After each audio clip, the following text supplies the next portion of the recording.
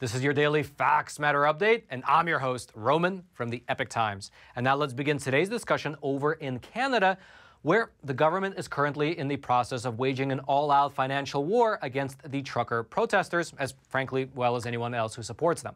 However, before I give you the actual developments, I would like to share with you something that happened in the year 2020 as sort of a juxtaposition with what's happening today. Back in December of 2020, there was a large protest of farmers over in the country of India. Those farmers, they were specifically protesting against three laws that were passed by their federal government, laws that the farmers were claiming were enriching the large corporations while at the same time hurting the small farmers. And so the farmers peacefully marched to the capital, with many of them bringing their trucks, their tractors, as well as their trailers along with them. This is already all starting to sound rather familiar, isn't it? And back then, wouldn't you know it, the first foreign leader to voice his opinion on this matter, meaning the first head of state outside of India to chime in, was Canada's Justin Trudeau. Here's what he said back in December of 2020. Quote, let me remind you, Canada will always be there to defend the rights of peaceful protesters. We believe in the process of dialogue. We've reached out through multiple means to the Indian authorities to highlight our concerns. This is a moment for all of us to pull together. And those beautiful comments, well, they bring us right back to the present day. Because, as you are likely aware, after the Trudeau government invoked the Emergencies Act, well, they began to crack down hard on the trucker protest. At first, the Ottawa police began to hand out these notices to the protesters who were on the ground. And these notices, they said this in part, quote, You must leave the area now. Anyone blocking streets or assisting others in the blocking of streets are committing a criminal offense and you may be arrested. You must immediately cease further unlawful activity or you will face charges. Then, shortly afterwards, the police began to make good on their promise. Videos began to circulate online, maybe you've seen some of them at least, showing swarms of armed police pushing protesters back, smashing truck windows, arresting protesters on gunpoint, and even trampling over top protesters on horseback. Now, on that last point, regarding the horses, one of the women who was actually trampled, you can see her there up on screen, she's the one with the walker, she was sent to the hospital with a shoulder injury, and she eventually made a full recovery. However, it's rather ironic that for a protest that is being branded by the government as essentially a white supremacy summit, well, it was interesting to learn that this protester, the woman who was trampled by the police horse, is actually an indigenous elder who just disagrees with the vaccine mandates. You might look at the situation and you might be sympathetic to everyone involved, maybe even to the police officers themselves, who you might assume are just being forced to do their jobs and violently break up the protest. But that does not appear to be the case. How do we know? Well, a publication called Rebel News they were able to obtain a leaked text thread between the Canadian police officers, and frankly, based on the text messages at least, they seem to be enjoying what they're doing. Here are some of the text messages that the police officers were sending back and forth. And please note, I hid the names and phone numbers of the officers so that their private information wouldn't be released. Here's what they said Time for the protesters to hear our jack boots on the ground. To which one of his colleagues replied, Whoa, whoa, whoa, whoa, whoa. This is a kinder and gentler Royal Canadian Mounted Police. To which he then replied, okay, we can give out free hugs and unicorn stickers. And then in another one of the exchanges, you can see that one of the police officers shared the video of the horses trampling on the protesters, and here was some of the responses from the other officers. Wow, that's awesome. We only think we're living the dream. That's what we need to do. Just watch that horse video. That is awesome. We should practice that maneuver. Agreed. Put me back on gyro, which I imagine is the name of the horse, and they will be served. Haha. That is rather amazing. However, it's perhaps understandable why these police officers are enjoying doing their job so much, because just maybe they are listening to their own politicians, and perhaps by doing so, they think that they are fighting actual Nazis. What do I mean by that? Well, listen to this Canadian member of parliament suggest that not only are the freedom protesters Nazis, but that also the sound of a truck horn actually means Hail Hitler. Take a listen. How many guns need to be seized? How much vitriol do we have to see of honk honk, which is an acronym for Hail Hitler, do we need to see by these protesters on social media? And along that line, a woman by the name of Tamara, who is one of the main organizers of the Freedom Convoy, she was recently arrested by the police and she's currently being denied bail. She's currently being threatened with 10 years in prison. Now, thus far, we have discussed both the narrative warfare as well as the police crackdown that the protesters have been facing. But what appears to be even more severe, and what likely has far reaching implications, is the financial warfare that the state is waging against not only the protesters, but also anyone who supports the protesters. And to begin to understand what the implications of this actually are, well, here's what the Ottawa chief of police, here's what he had to say about what his force is about to do. If you are involved in this protest, we will actively look to identify you and follow up with financial sanctions and criminal charges. Absolutely. We, this investigation will go on for months to come. Now, in that statement, he mentioned that if you are involved in the protest, they will find you and financially sanction you. But what does that actually mean? Does it refer to only people who are physically there on site in Ottawa? Well, that appears to not be the case. Here is, for instance, what a conservative member of the Canadian Parliament wrote on Twitter in regards to what's actually happening with these financial sanctions. Brienne is a single mom from Chilliwack, which is a city, working a minimum wage job. She gave $50 to the convoy when it was 100% legal. She hasn't participated in any other way. Her bank account has now been frozen. This is who Justin Trudeau is actually targeting with his Emergencies Act orders. And I suspect that this type of financial warfare will only escalate given the fact that GiveSendGo, which is, of course, the fundraising platform that the truckers were using, well, it was recently hacked, and all of the names, addresses, and dollar amounts of the donors are now floating around online. In fact, people are now making Google Maps, you can see one of them up on screen right there, where all of the donors are represented as pins on the map.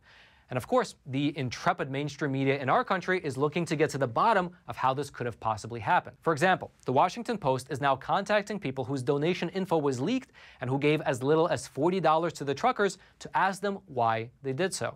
And attached to that tweet, you can see an example of an email from the Washington Post, which has this question. Can you call or reply to this email to share what motivated you to contribute to the campaign? Now, really spend a quick moment to take this in. Hackers breached the private information of tens of thousands of donors over on GiveSendGo, which is, of course, an illegal act. And the legacy media in this country, instead of condemning the hack or trying to get to the bottom of who actually conducted it, well, they are instead now harassing the actual donors, asking them to justify their donations. This is just the world we're living in where the government, alongside the police force, the banking institutions, and the legacy media outlets, they all work in concert to attack those who they don't agree with. And frankly, don't expect this to end anytime soon, because as Ronald Reagan once famously said, quote, nothing lasts longer than a temporary government program. And indeed, wouldn't you know, just two days ago, Canada's finance minister, she came out and she said that these financial sanctions must be extended permanently. Take a listen. I believe do need to be expanded to cover crowdsourcing platforms uh, and uh, payment platform and their payment providers. Uh, so that's that is something that we need to do and we will do, and that needs to be in place permanently. And so, frankly, what this reveals is an extremely concerning development, the likes of which we very rarely see in the Western world. Because think about it, whether it's America, Canada, Australia, Europe, etc., one of the bedrock principles of our Western societies is the concept of property rights. That's one of the main reasons that, for instance, rich Chinese people, they buy property in Canada and America rather than in China. Because after 25 years, well, your property here in America will, still likely be yours because we have property rights. However, this episode in Canada, well, it's revealing the fact that your money in your bank account, which you of course assume is yours, well, it's one piece of legislation away from being frozen and confiscated by the state without any due process. And so, in terms of what this will actually mean for the future of Canada as well as the Western world, well, only time will tell. Although, frankly, what you're actually beginning to see across Canada right now is a spreading of these protests in many different cities as people are witnessing what's happening in Ottawa and deciding to stand up against it. If you'd like to read more about anything that we've discussed thus far regarding Canada, I'll throw all those links into the description box below this video for you to check out. And all I ask in return is that you take a super quick moment to smash, smash, smash that like button for the YouTube algorithm. And now let's move on over and talk about Kyle Rittenhouse's new initiative. Actually, before we move on over to the next segment, I wanted to introduce the sponsor of today's episode, which is an awesome company called My Patriot Supply. So if you're looking at people's bank accounts getting frozen and now they're unable to buy food, if you're looking at this looming war with Russia, send the price of oil to the moon, and if you're seeing the supply chain crunch with ships being unable to dock at the LA port, and you're thinking to yourself, wait a minute, will this eventually impact the amount of food that I can actually buy at the store shelves? Well, the time to prepare for that eventuality is now. And I would highly recommend that you go on over to preparewithroman.com, which is the awesome website that, that set up for us, and you can buy long-term emergency food now in case of a worst case scenario. And best of all, for our viewers, they have a special going on where you can save $50 off of their four-week emergency food kit. That will give you breakfasts, lunches, dinners, drinks, and snacks for one person for four solid weeks. So again, head on over to preparewithroman.com and save $50 off of each of the four-week food kits that you order. Now, by the way, My Patriot Supply is a phenomenal company to do business with. They have served literally millions of people across this country, and now those people are prepared for the worst case scenario. And furthermore, their products are in stock, they ship quickly, and they ship discreetly. So if you head on over to preparewithroman.com and you order today, well, your product will arrive in three days or less in unmarked boxes so your neighbors don't know that you're prepping. So again, head on over to preparewithroman.com, save some money, get ready, and let's head on back to the studio. And now let's move on over and talk about defamation. And to start with, you might remember Mr. Kyle Rittenhouse. He is the young man who, in August of 2020, shot and killed two other men in self defense during a riot in Kenosha, Wisconsin. And even though the outcome of his highly publicized trial was that he was acquitted of all charges, well, there have been celebrities, athletes, as well as organizations which have continued to call him a murderer as well as a white supremacist. However, it looks like Mr. Rittenhouse is now fighting back. Two days ago, during an interview over on Fox News, Kyle announced his new initiative, the Media Accountability Project, which he described as a group which will be used to hold members of the media accountable for both lies as well as for defamation. Now, Kyle himself is uniquely positioned to both launch the initiative as well as to hold people accountable for lies, slander, and defamation. That's because you might remember that after the riot in Kenosha, and even during his trial, there was a lot of misinformation floating around regarding Kyle Rittenhouse, and much of it was being propagated by academics, media personalities, news outlets, athletes, and even politicians. For instance, back in November, on CBS News' Face the Nation, one of their reporters, they falsely stated that Kyle drove in from Illinois armed for battle which is not true. Then over on CNN's Cuomo Primetime, a Harvard University professor, he came on and said that Kyle was carrying an AK-47, which was also not true. Then the independent newspaper, they reported that Kyle Rittenhouse had shot three black men, which again is not true. All the men he shot were white. And the list goes on and on and on. There was even a history book recently published by the National Geographic. It was titled The Good Kings Absolute Power in Ancient Egypt and the Modern World. And within the book, well, here's what the author wrote regarding Mr. Kyle Rittenhouse. Or consider 17 year old Kyle Rittenhouse, who used a semi automatic weapon to kill two black men in Kenosha, Wisconsin, while waging a glorious race war on behalf of his inherited white power. Now, by the way, that last quote actually came from a history book. And so you can see there are many, many many examples like this. In fact, you have probably come across several of them for yourself. And therefore, as a response, Kyle Rittenhouse has launched the aforementioned Media Accountability Project. Here's how he described it. Quote, My trial exposed a deep corruption in our media that cannot go unanswered. Their blatant lies, defamation, and propaganda were malicious attempts to tear our nation apart and destroy my life, and I am committed to holding them accountable. Me and my team have decided to launch the Media Accountability Project as a tool to help fundraise and hold the media accountable for the lies they said and deal with them in court. And then, in terms of who is actually going to be on that list, well, Kyle said that the list will be fairly comprehensive and that they will go after everyone who lied about him. Here's what he said We're looking at quite a few politicians, celebrities, athletes. Whoopi Goldberg is on the list. She called me a murderer after I was acquitted by a jury of my peers. She went on to still say that, and there's others. So is Cenk Uygur from the Young Turks.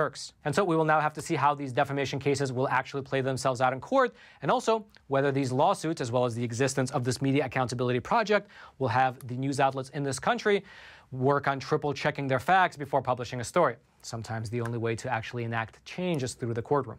Regardless, if you'd like to read more about Kyle's new initiative, I'll throw a link to it. It'll be in the description box below this video for you to check out. And again, all I ask in return is that if you haven't already, take a quick moment to smash, smash, smash that like button for the YouTube algorithm. Now, to finish up, I would like to mention something that you might have noticed. Two days ago, our premiere on YouTube, well, it met with a bit of a challenge. When we uploaded the video, but before it actually premiered, YouTube took it down, and on the back end, they sent me a message saying that I was propagating medical misinformation. They gave me a warning, and then they gave me a strike saying I cannot publish on my YouTube channel for a week. Now, fortunately, I appealed the decision. I sent them in a lengthy explanation saying, hey, I was just literally reading the CDC's own statement regarding how, by the way, they were spending about $5,000 per person in order to convince minorities in order to get vaccinated. And eventually, we, the appeal went through and we were allowed to post again, which is why you're able to watch this episode. However, during that hour, when I was not able to post and I really thought that we had lost the channel for at least the next week, I was beginning to think about what it actually means to be deplatformed, what it means to be, as George Orwell famously wrote, depersoned. Because when YouTube takes away my ability to speak to you, the audience, well, you don't even know about it. It's not like I can post anything saying, hey, I've been deplatformed because I can't post anything. And so you just maybe assume that I'm sick or I'm not posting or I maybe quit the channel. You have no idea. Of course, I posted it on Instagram, but not so many people follow me. Although if you'd like to follow me on Instagram, you can find me at Epoch Times Roman. I'm on there until they kick me off. Now, the reason I'm mentioning this is because over on epochtv.com, we have an awesome platform that does not have any censorship on there and that we can talk about things as they truly are without having to filter it for YouTube. And starting next week, I'm going to go and actually follow the trucker protest that's making its way to DC, the Freedom Convoy that's making its way to DC here in the United States. We're going to be there. We're going to be interviewing the truckers. We're going to be following the trucks. We're going to actually have drones. Perhaps we'll even rent an airplane to have an aerial view. We're going to be there telling you exactly what's happening from the ground. However, my experience is that protests like that, they do not fare well on YouTube because let's say somebody says something about the vaccine that the fact checkers here on YouTube don't like and the entire video gets taken down, even though let's say the video is five hours long, if somebody says something for just five seconds, well, the video can be either well, demonetized. We're already demonetized, but the entire thing can be taken down. And so all the coverage that we will have of the trucker protest, well, you can find it over on Epoch TV. And I hope you go on over there because that's not only a great way to support the journalism, but it's a great way to actually figure out what's happening in this world. There's a ton of other videos on there besides Facts Matter. There's great movies on there. There's exclusive programs that you can only find on Epoch TV.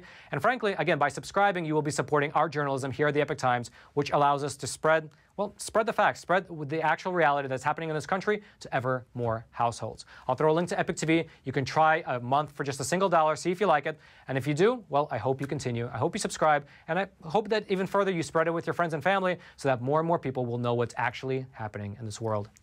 Now, again, hit that like button if you haven't already so that the algorithm here on YouTube can spread this video to more people. Subscribe to this YouTube channel while it's still available so that you can get updates like this on YouTube. Again, the links to Epoch TV will be right there in the description box below. And then until next time, I'm your host, Roman from the Epoch Times. Stay informed and stay free.